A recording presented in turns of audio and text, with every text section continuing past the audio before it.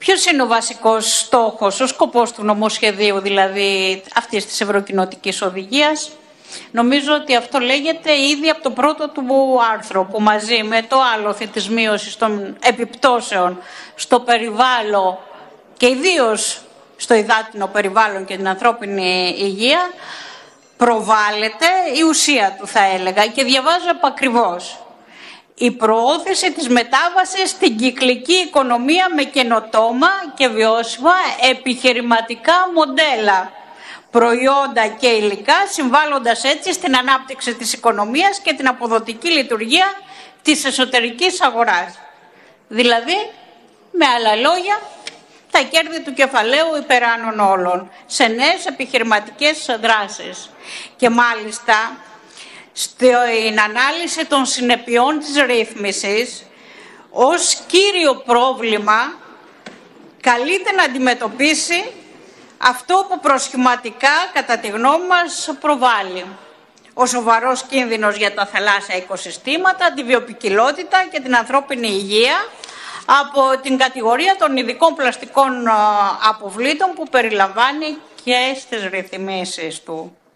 Και λέμε προσχηματικά γιατί απουσιάζει από αυτές κάθε αναφορά στον πιο επικίνδυνο εχθρό των θαλάσσιων οικοσυστημάτων από πλευράς διασποράς πλαστικών αποβλήτων που είναι το εφοπλιστικό κεφάλαιο, μικρό και μεγάλο.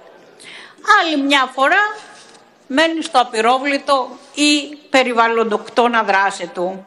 Με λίγα λόγια, υπάρχει επιλεκτικότητα σκόπιμη. Σκόπιμα λοιπόν καλλιεργείται αποκλειστικά η λογική της ατομικής ευθύνης, όμως ο μοναδικός παράγοντας που μπορεί πραγματικά να συμβάλλει ή να επιταχύνει κάποιες κλιματικές μεταβολές είναι η ίδια η δράση των μονοπωλιακών ομίλων, το ίδιο το καπιταλιστικό σύστημα θα έλεγα με λίγα λόγια. Προκλητικά λοιπόν για τη ρήπανση της θάλασσας σημαδεύονται τα πλαστικά καλαμάκια του καφέ και επιχειρούν να βγάλουν στον αφρό το νούμερο ένα υπεύθυνο για τη θαλάσσια ρήπαση που δεν είναι βέβαια από το κεφάλαιο εφοπλιστικό και βιομηχανικό. Γιατί τα ίδια τα στοιχεία τι λένε; Μόλις 90 μεγάλοι όμιλοι ευθύνονται για τα δύο τρίτα των παγκόσμιων εκπομπών καυσαερίου από το 1988. 20 μονοπόλια ευθύνονται για το 35% των παγκόσμιων εκπομπών ρήπων άνθρακα που έχουν προέλθει από ανθρώπινες δραστηριότητες. 10 χώρες παράγουν το 72% της ρήπασης του διοξιδίου του άνθρακα. Και να πω και ονομαστικά, η ExxonMobil, η BP, η Shell ή η Total διαφημίζουν τα πράσινα προγράμματά τους, ενώ αποτελούν ταυτόχρονα τους μεγαλύτερους ρηπαντές. Αλλά και εδώ στη χώρα μας στη Δραπετσόνα. Βιομηχανία επεξεργασίας πετρελοειδών αποβλήτων ρίχνει τα λίμματα κατευθείαν ε, στη θάλασσα. Μάλιστα σε αυτή την απόφαση συνέβαλε και η θετική γνωμοδότηση του Υπουργείου Ναυτιλίας που υποτίθεται ότι προστατεύει το θαλάσσιο περιβάλλον και δεν ξέρω μήπως κύριε Υπουργέ και το Υπουργείο σας έχει βάλει το χεράκι του και έχει υπογράψει ακριβώς αυτό το δικαίωμα της θαλάσσιας ρήπασης από τη συγκεκριμένη βιομηχανία. Και εδώ που τα λέμε δεν είναι και μοναδική στη χώρα μας. Όμως αναφέρομαι σε αυτή γιατί, γιατί υπάρχουν πορίσματα μελετών του Ερευνητικού Κέντρου Δημόκριτος αλλά και του Αστεροσκοπίου και λέω και τέτοια που ε, αναδεικνύουν δηλαδή τη ρηπογόνο δράση. Βέβαια παρόμοιες τέτοιες καταστάσεις και διαμαρτυρίες και κινητοποιήσεις κατοίκων και φορέων έχουμε και στο, όχι μόνο στο Κερατσίνι και στο Πέραμε αλλά και στον Θεσσαλονίκη και στον Ασπρόπυργο για τα ΕΛΠΕ αλλά ακόμα και την καταστροφική δράση του όλπου δηλαδή της Κόσκο και στην ακτογραμμή και στην υποβάθμιση της θάλασσας για τα κέρδη ακριβώς αυτού του μονοπωλίου δημιουργώντας μία προβλήτα για κρουαζιερό πλοιαθυρία που θα μπορούσε βεβαίως να την κάνει κάπου αλλού. Αλλά έτσι είναι, μπρος στο κέρδος. Τι είναι, τι είναι οι ανάγκες των λαϊκών στρωμάτων, ποδοπατιούνται. Τώρα, το πεδίο εφαρμογής του νομοσχεδίου δεν αφορά σε όλα τα πλαστικά προϊόντα, μόνο τις κατηγορίες ε, πρώτης σε ορισμένα προϊόντα μιας χρήσης που αποτελούν και τη βασική στόχευση του νομοσχεδίου. Δεύτερον, σε αυτά που αποτελούνται από οξοδιασπόμενα πλαστικά και τρίτον, τα αλλιευτικά εργαλεία που, που περιέχουν πλαστικές ύλες. Τώρα, σχετικά με τα πλαστικά προϊόντα μιας χρήσης και η δίθεν διευρυμένη ευθύνη του παραγωγού, τελικά που καταλήγει, καταλήγει σε ένα διευρυμένο χαράτσι σε βάρος των λαϊκών στρωμάτων αφού οι ρυθμίσεις για μια κατηγορία τέτοιων προϊόντων που όπως γράφεται διατίθεται ως συσκευασία των τροφίμων και των ποτών κατά την, πολιτι... κατά την πώλησή τους από επιχειρήσεις μαζικής εστίασης και επιχειρήσεις λιανικού εμπορίου, όπως, γρα... όπως αναφέρεται, καταλήγουν σε ένα φόρο πρακτικό μηχανισμό σε βάρος των λαϊκών στρωμάτων σαν καταναλωτές.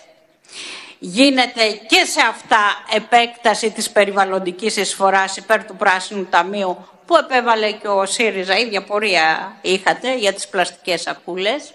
Πρόκειται για τα 4,96 λεπτά αναδιακριτό τεμάχιο, δηλαδή χωριστά το κυπελάκι, χωριστά το καπάκι ή το καλαμάκι κατά περίπτωση και αθρίζονται.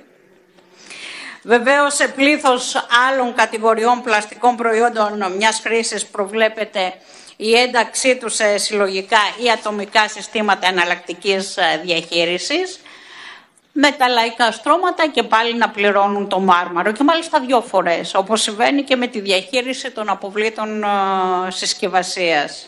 Μια φορά ως καταναλωτές, προπληρώνοντας κατά την αγορά τους το κόστος διαχείρισής τους, όταν καταστούν απόβλητα και μια δεύτερη φορά ως δημότες, λόγω του πρόσθετου κόστους που απαιτεί χωριστή συλλογή τους από Δήμο.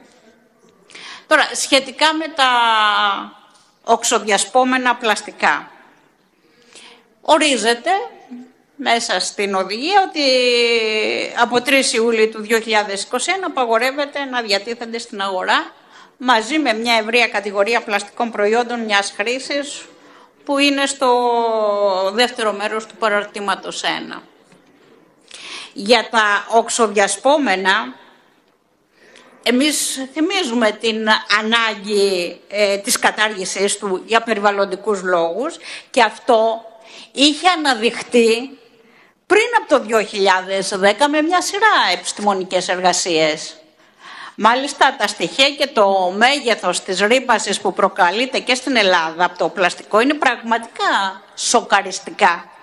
Η προβολή τους αποσιωπά όμως τις πραγματικές αιτίες της ρήπανσης του περιβάλλοντος, που είναι η δραστηριοποίηση των ισχυρών μονοπωλιακών ομίλων, βεβαίως με κριτήριο το κέρδος και είναι και σε βάρος και του περιβάλλοντος και της υγείας του λαού. Παράλληλα, η ανάδειξη τέτοιων θεμάτων από έρευνες παγκόσμιας εμβέλειας δεν είναι άσχετη με τους ανταγωνισμούς μεταξύ επιχειρηματικών ομίλων που κοντράρονται για μεγαλύτερα μερίδια αγοράς στην παραγωγή και πώληση υλικών με πρώτη ύλη το πλαστικό για την, για την αντικατάστασή του με άλλα καινοτόμα υλικά ή ακόμα και για τα κέρδη από την αξιοποίηση του πλαστικού μετά την αποβολή του προϊόντος. Σε τελική ανάλυση, αυτό που υπερισχύει σε όλες αυτές τις έρευνες είναι η ατομική ευθύνη του καταναλωτή να επιλέξει άλλο υλικό από το πλαστικό και να φροντίσει ο ίδιος για την ασφαλή ανακύκλωση ή καταστροφή του μετά τη χρήση. Και μάλιστα με μια, μια σχετική έρευνα που έγινε στην Ελλάδα, κάθε χρόνο καταναλώνονται εκτός σπιτιού 315.000 σάκοι καφέ που σημαίνει 1,2 δισεκατομμύρια καφέδες για να καταλαβαίνουμε τι χρήση γίνεται. Επίσης, ένα άλλο είδος πλαστικού απορρίμματος με, συ, με σημαντικές επιπτώσεις, όμως δεν συζητιέται, είναι οι, οι μικροίνες πλαστικού που προέρχονται από τη διάβρωση συνθετικών υφασμάτων Και μάλιστα το πρόβλημα είναι τόσο εκτεταμένο που σύμφωνα με μια μελέτη το 80% των δειγμάτων πόσιμου νερού που ελέγχτηκαν παγκοσμίως βρέθηκαν μικροίνες πλαστικού. Όμως θέλω να πω ότι αν και αυτά είναι γνωστά, λέω, πριν από το 2010, ε, δεν προχωρήσανε γιατί, γιατί υπήρχαν αντιδράσεις των μονοπωλίων του κλάδου και κυρίως της Μεγάλης Βρετανίας και έτσι καθυστέρησε η κατάργηση των οξοδιασπόμενων πλαστικών. Μόνο με την ε, ικανοποιητική διαχρονική απόδοση των σχετικών επενδύσεων με το προσδοκόμενο ποσοστό κέρδος επιτρέπεται τώρα από την Ευρωπαϊκή Επιτροπή η θεσμοθέτηση της κατάργησής τους. Μια ακόμα χαρακτηριστική περίπτωση όπου πραγματικά τα κέρδη κλάδων του κεφαλαίου παρατείνουν τις επιδεκαετίες τη ζωή εχθρικό για το περιβάλλον και τα οικοσυστήματα τεχνολογιών. Τώρα, για τα ορισμένα πλαστικά μιας χρήσης που αναφέρει το νομοσχέδιο. Ε, η κατάργησή τους δεν ξεκινάει από φιλοπεριβαλλοντικές προθέσεις και ας είμαστε ειλικρινείς.